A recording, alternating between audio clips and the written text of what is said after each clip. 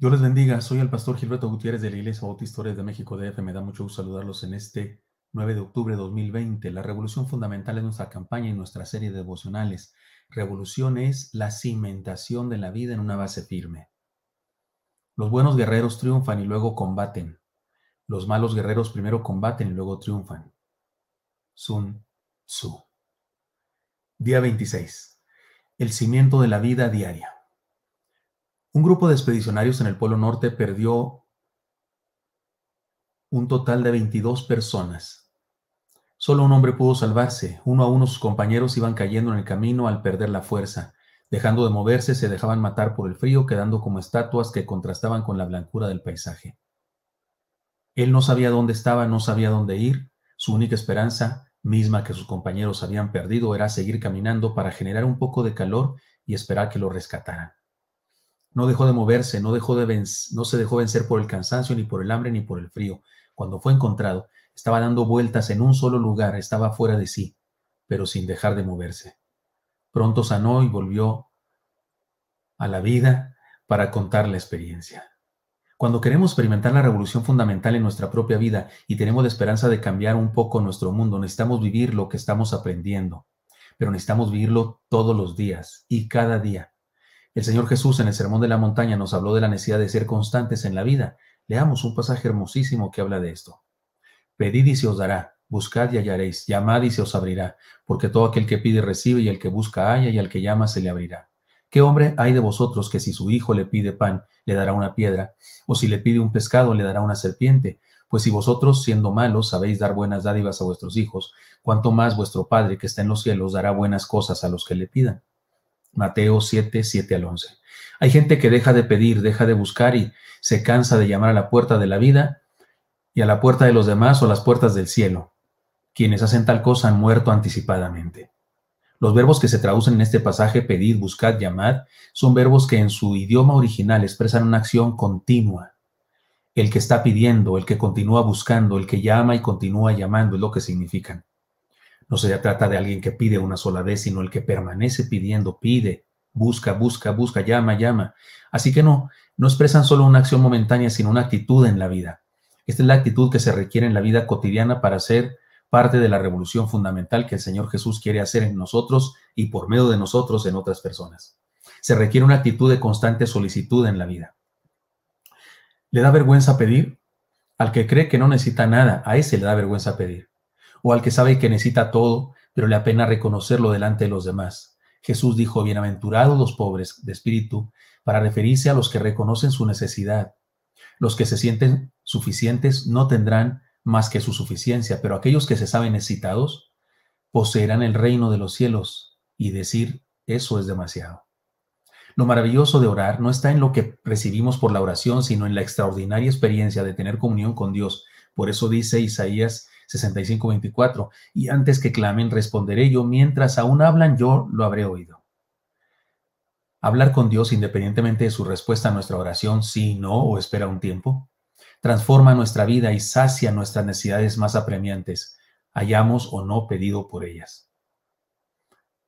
Que oremos a pesar de nuestra insistencia y fe no significa que le estemos torciendo el brazo al Señor para que nos conteste, no ni significa que le estamos obligando a contestarnos de acuerdo a nuestra solicitud, para nada.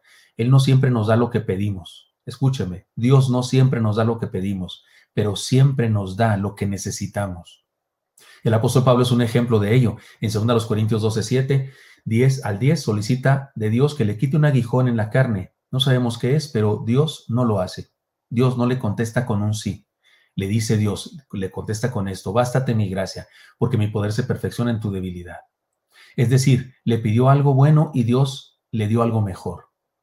¿Y cómo no ha de ser así si Dios es nuestro Padre?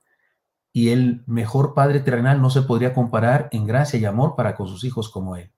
La comparación que hace el pasaje con la solicitud de un hijo es muy elocuente. ¿Qué hombre hay de vosotros que si su hijo le pide pan le dará una piedra o si le pide un pescado le dará una serpiente? Definitivamente hay un cierto parecido entre un pan y una piedra, como los que abundan en los caminos de aquellas ciudades aunque un experto podría distinguir fácilmente un pescado limpio de un inmundo, como la venenosa anguila, tal vez un novato no lo haría. Así pasa en la vida misma. Algunas aparentes bendiciones resultan en nuestro mal. En la mitología griega hay un ejemplo de esto. Se cuenta que Aurora, una diosa que solicitó un regalo de Zeus para su enamorado, un, un mortal llamado Titonio. Zeus le concedió el don de la inmortalidad, pero eso hizo que Titonio envejeciera por la eternidad sin poder morir, pues no le había dado también el don de la eterna juventud. Muchas veces el dinero, un automóvil, una relación amistosa, sentimental, etcétera, puede llegar a ser una maldición en vez de una bendición. Pero Dios sabe lo que necesitamos realmente y está pendiente de ello. Es por eso que debemos mantenernos en una actitud constante de petición.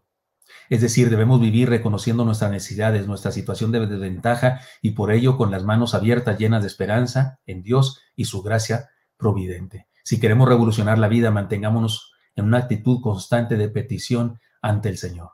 Además, se requiere una actitud de constante búsqueda, porque dice pedid, se os dará y también dice buscad y hallaréis.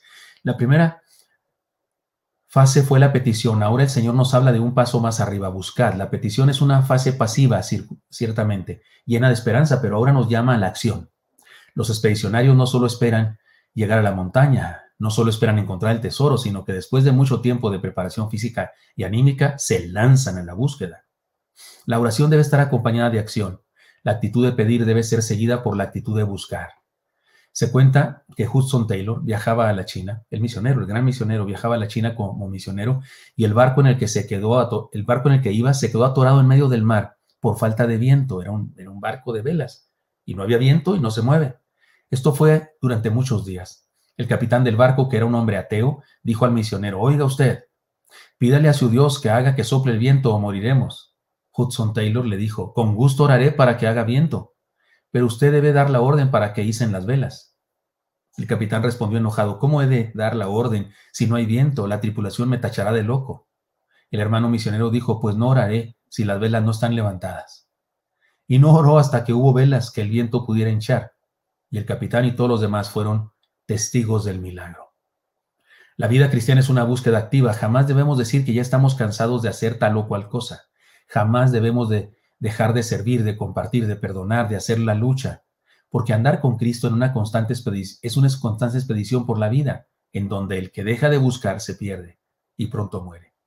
Si queremos revolucionar a la vida, mantengamos una actitud de búsqueda constante en el Señor. Además, se requiere una actitud de constante llamado. Esta fase, en esta fase la cosa va mucho más allá. Ahora el Señor nos desafía a tocar puertas, a llamar con ganas. Si la búsqueda fue algo activa y no solo pasiva como el pedir, Llamar es todavía algo más profundo. Llamar es una búsqueda llena de esperanza y acción, o sea que involucra los dos elementos anteriores y los profundiza. Nos habla de pedir ayuda, de encontrarnos con otros en la aventura de fe. Pedir y buscar son cosas que pueden hacerse a solas. Pero llamar es, es requerir la intervención de otras personas. Llamar es buscar la colaboración de quien está detrás de las puertas de donde llamamos las puertas de sus corazones, las puertas de una oportunidad, las puertas de la vida, las puertas del futuro o de nuestro destino. No se puede ser cristiano victorioso sin llamar, sin mantener una actitud constante de solicitud, llamar, llamar y seguir llamando. Moisés no sacó al pueblo de Egipto al solicitarlo por primera vez al faraón, no. Solicitó la libertad insistentemente. Tomás Alva Edison no inventó el foco en el primer intento, no señor hizo literalmente miles de pruebas antes de lograrlo. Hay quien dice que la bombilla eléctrica o foco funcionó finalmente a la vez 3001, el intento 3001. Usted y yo andamos buscando cumplir una misión en la vida, entonces debemos llamar y seguir llamando hasta conseguirlo. Jacob trabajó 14 años por una esposa a la que amó. Moisés luchó como líder de los 80 a los 120 años de su vida. David mató a un gigante y enfrentó muchas batallas. Elías enfrentó 850 sacerdotes paganos en un duelo a muerte. Jeremías predicó aún en contra de la gran oposición. Los apóstoles sufrieron persecución, pero todos ellos lograron aquello que habían pedido, que habían, que habían buscado y por lo que lucharon tanto. Llamar es orar cotidianamente, es no desanimarse por las puertas cerradas, es abrir puertas en nombre de Dios. Aquella idea de que si las puertas están cerradas no es voluntad de Dios, Moisés nunca la creyó, porque Moisés fue vez tras vez con Faraón y le dijeron, no, no, no. Las puertas estaban cerradas y él siguió adelante. Hay ocasiones en, las en que las puertas cerradas están cerradas para que las tiremos. Si queremos revolucionar la vida, mantengamos una actitud de, una, un constante llamado en el Señor y las puertas se abrirán. Se requiere vivir la aventura de, de la revolución fundamental todos los días. En los versículos 9 y 11 encontramos la sólida base de nuestra excelsa esperanza, el carácter de Dios. ¿Cómo habremos de pedir y buscar y llamar a un Dios tan... ¿Cómo no habremos de pedir, buscar y llamar a un Dios maravilloso? Si el Todopoderoso, si Él es Todopoderoso, si Él tiene todo el control del universo y particularmente de nuestra vida, si somos suyos y nos ama, ¿cómo no hacerlo? Entonces, sean bienvenidas todas las circunstancias de la vida porque Él, nos va Él no va a darnos cosas que nos hagan daño jamás. No hay razón para que desesperemos y desmayemos ni para que nos deprimamos y desconfiemos. Él está al control. Cuando renegamos de la vida, cuando nos lamentamos desmedidamente de lo que acontece, cuando dejamos de servir, cuando dejamos de aprender o nos resistimos a profundizar en el conocimiento de la palabra, cuando adoptamos actitudes pasivas, cuando dejamos de dar, entonces estamos dejando de pedir o de buscar o de llamar. De esta manera, nos descalificamos para la expedición de la fe que es la vida.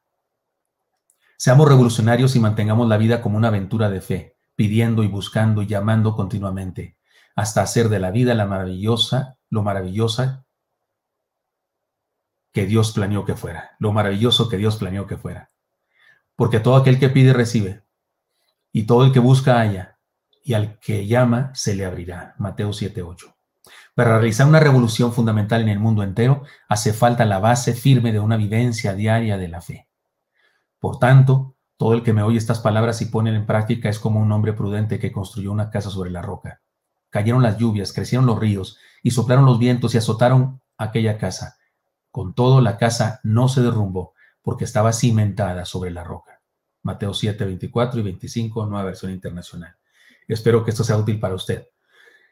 Y me encantaría encontrarnos el día de mañana, pero no sin que usted y yo sigamos pidiendo, buscando y llamando. Dios le bendiga.